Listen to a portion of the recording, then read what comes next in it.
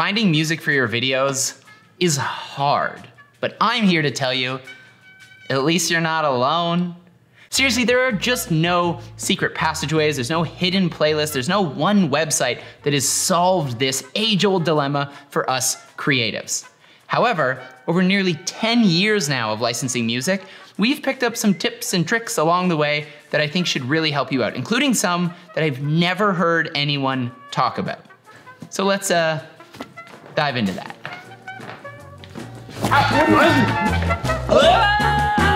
This video is brought to you by Skillshare.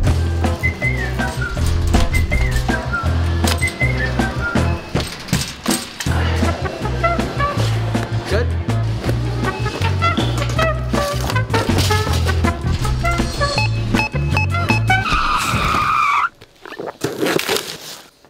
Ow! Yeah! Switch pod.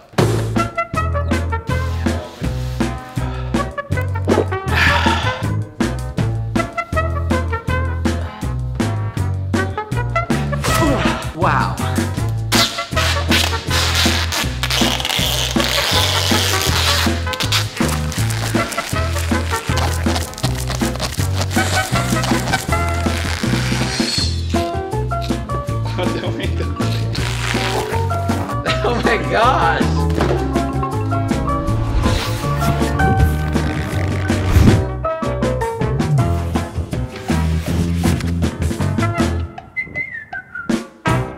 Nice. We built a life-size replica stunt dummy of me. Why? Well, I, honestly, we just didn't have any other ideas at the start of the week, and Florence was like, "We got to make a stunt dummy," and I was like, all right. When we started shooting the sequence of creating Jeffrey, we had uh, like a loose idea in mind of the kind of music we wanted to use, but we didn't know what song it was going to be. I had imagined a song kind of out of Whiplash, you know, these fast jazz drums that would be chaotic putting stuff into the shopping cart. But when we got back to the studio here, we had quickly realized a, we didn't have nearly enough shots to actually create the kind of edit I had imagined. And B, the footage we had shot, especially assembling this dummy, was so silly and ridiculous that we needed a song that reflected that tone. And that's the first tip, which is kind of obvious, but make sure the songs you're selecting actually fit the tone and the emotion of the story you're trying to tell. Just because you like a song or because a song fits like your brand, that doesn't mean it's an effective way of telling stories. So make sure that you carefully examine what the story is you're trying to tell. What's the emotion you want your audience to feel? Now, there is a problem that we ran into here, which is that because we didn't know the kind of music that that sequence would require, we spent over two hours going song by song by song through jazz and orchestral and Motown, trying to find the right fit. Which brings us to our second tip. If you know ahead of time what the tone and what the feeling of a video you want to shoot is going to be, it's really worth spending the time in finding a song that feels like it might fit first. That way, on the drive to the shoot, you can have it playing on loop in the vehicle and just getting your head into that mind space of this is what we're doing. I even have friends that'll play the song in headphones while they're shooting. That way they can be feeling out does this shot match the rhythm and the pacing of the music and also the rhythm and the pacing of the emotion I'm trying to get across. The only real issue with doing this beforehand is that you do need to remain open to changes that might happen while you're shooting. A video that you first thought was going to be comedic in tone could take a more serious turn. Wow. And you want to make sure you're not cramming that serious tone into your silly song just because you picked it beforehand. Hi, can I please get uh, McChicken and make that a sorry, make that a combo with the green tea. Hey, almost too far. Got it. Have a good day. Thank you so much. Appreciate that. And that brings us to tip number three. Now, I know that it's not always possible to choose your music beforehand, but there are some habits that you can form to help make it easier for you in the future. When you get home from a shoot and all that footage is still fresh in your mind, what I like to do is pull up my favorite music licensing website, and as I'm importing my footage, I just start listening to music. So even though I'm not paying full attention to the songs because I'm organizing the footage and building libraries and stuff like that, it's still helpful because sometimes a song will pop up and I'll be like, hey, hold on, this song slaps.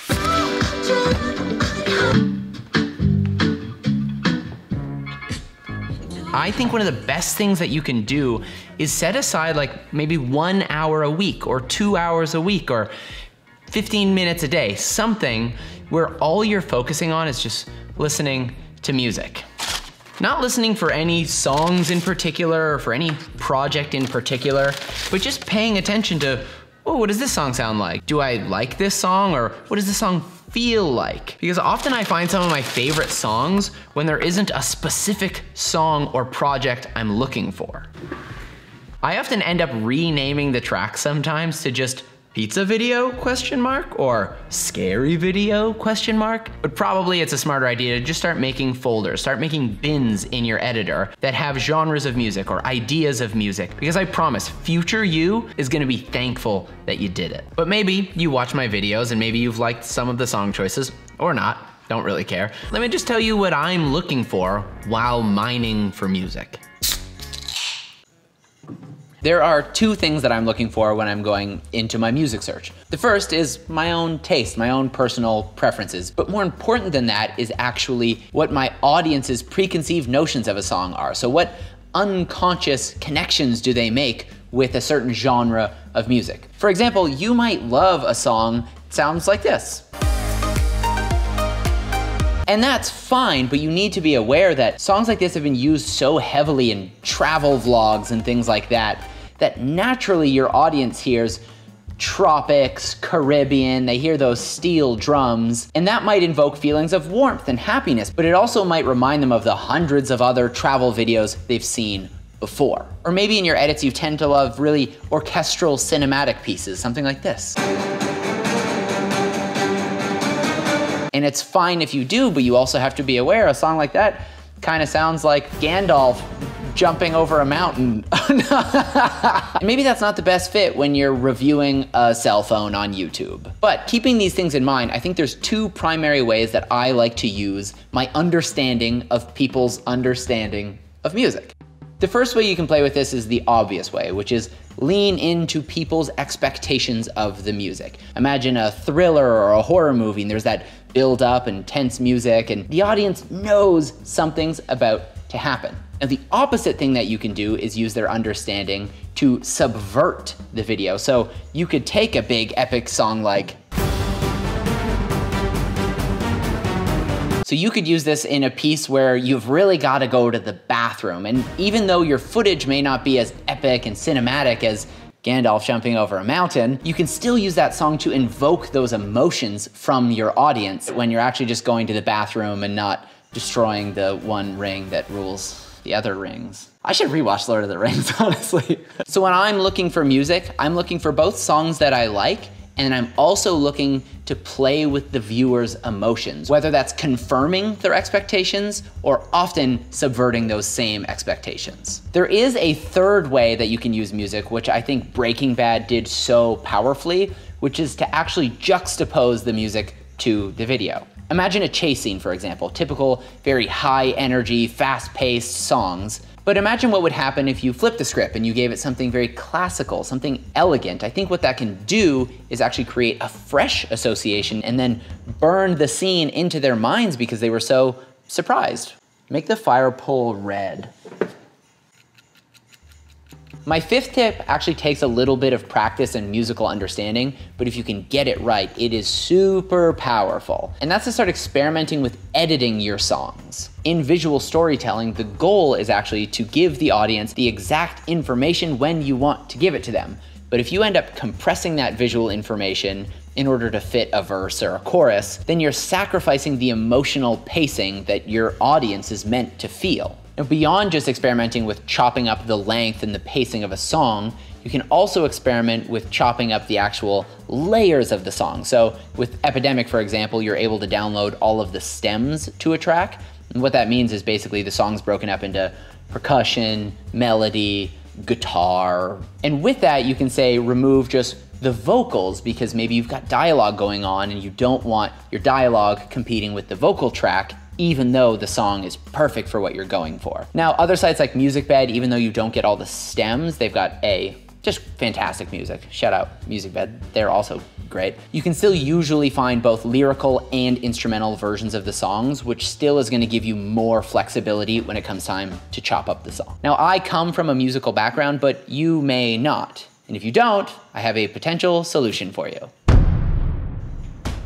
Today's video is brought to you by Skillshare. Skillshare is an online learning community for people like you and people like me. It's a place for people that are curious and creative and pretty much anyone that's looking to grow. And while they do have thousands and thousands of photography and filmmaking classes, they also have so much more. For example, they have loads of classes on music production and music theory, which are gonna go a long way in helping you when it comes to editing videos and chopping up songs in order to fit the edit. But more important than that, they have tons of classes that teach the art of creativity. See, in filmmaking, the idea is everything. You can have the best gear in the world and you can know exactly how to use it. But at the end of the day, it's the idea of the video that matters. One class in particular I think you should check out is called The Creative Toolkit. Six Techniques to Spark Original Ideas by Esteban Gast. And what I love about this class is not only does it include exercises to kind of stretch that creative mindset,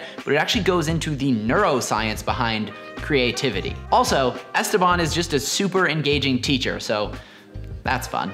I know I've said this before, but I think the most important investment you can make is an investment into yourself, and more specifically, an investment into your mind, into your learning, your brain, your creativity. And so for less than $10 a month, you get access to everything, to infinite knowledge, infinite learning. And what's better is that the first 1,000 people that click the link down in the description are going to get a free trial to Skillshare Premium. So that's $0 for all the classes.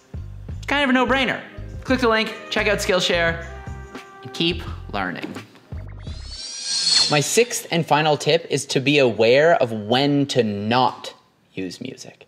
See, I know in my career, I've used music as a crutch so many times. But as I've grown and progressed, I'm increasingly aware of the power of just good sound design and how much sound design tells a story that much more even than music often does. And as much as the lack of music is often about silence, it's also about emphasizing those times when you do choose to use music. Those moments stand out that much more, and the songs stand out that much more because it hasn't just been a flood of a playlist throughout your entire video or your movie or your video. That music gets punctuated by the silence. Now, it's not always about music or no music. Sometimes it's actually about starting and stopping the music at the right moments. And that's something that you're just gonna learn to get a feel for with time. At the end of the day, choosing music and knowing when to use music and when to cut the music and when to use silence and what kind of music to use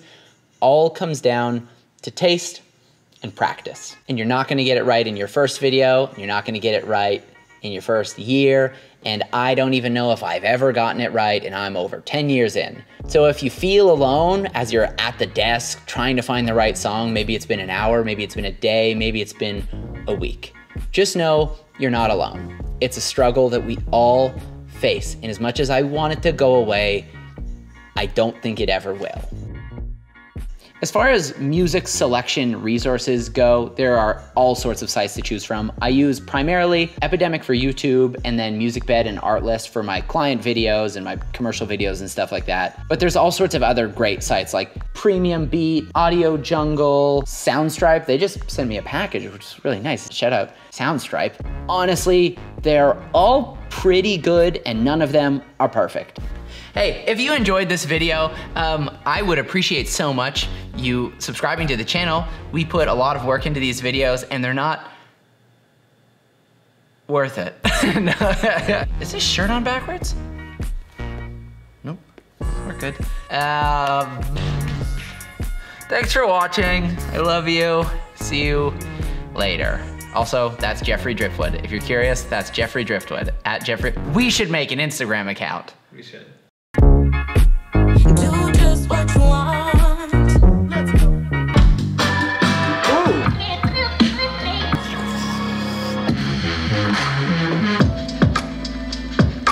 I just don't know how to edit the dum, ka dum, ka dum, ka That's because you're a bad editor.